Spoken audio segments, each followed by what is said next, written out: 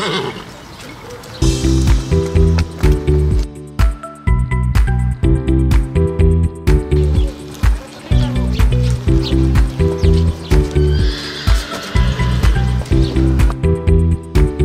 Нынешний сезон мастеров конного спорта богат на события. Томичи участвуют в выездных соревнованиях, регулярно проводятся различные турниры и в нашем городе.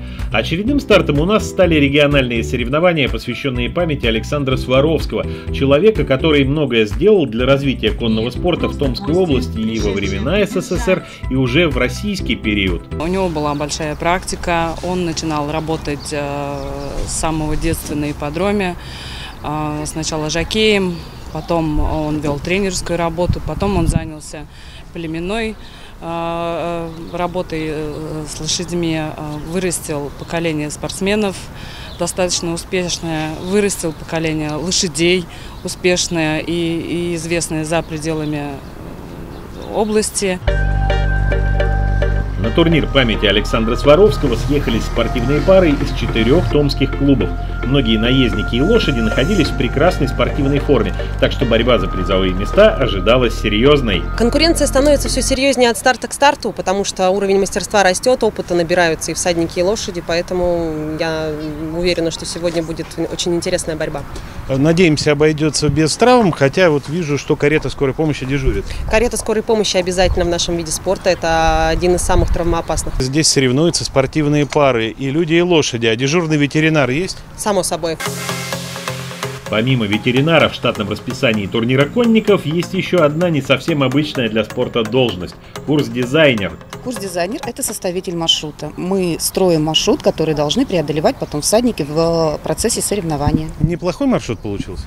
Я довольна. Теперь хочется посмотреть, довольны ли будут всадники и их лошади. А вы в Томске не первый раз, я понимаю? Да, не первый раз. Я очень люблю сюда приезжать. Здесь мне нравится, как всадники готовятся, мне нравится, э, с каким упорством э, они все это делают. И с каждым годом сюда приезжать все приятнее и приятнее. Уровень всадников постоянно повышается. И ну, вообще очень красивый здесь город. Мне очень здесь нравится. На старт турнира памяти Александра Сваровского вышли более 50 спортивных пар.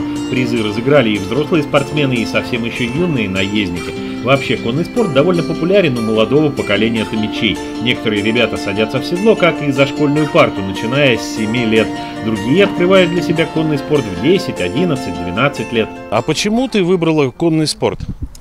А, ну, во-первых, я очень привязана к животным. Ну, изначально было к собакам, а потом как-то увидела в рекомендациях, вот, как занимаются конкуром, и это очень красиво, а, ну, вот, очень сильно, и поэтому, ну, вот прям захотелось, и я сразу прям зимой пошла.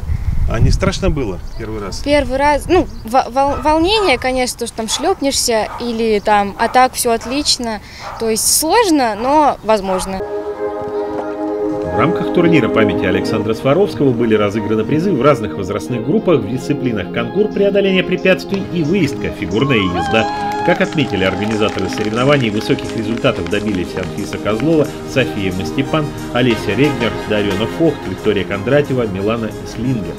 Сезон у конников продолжается. В 20-х числах этого месяца сильнейшие томские всадники примут участие во всероссийских соревнованиях по конному троеборью в Кемерове, а в Томске в августе и сентябре пройдут еще три турнира.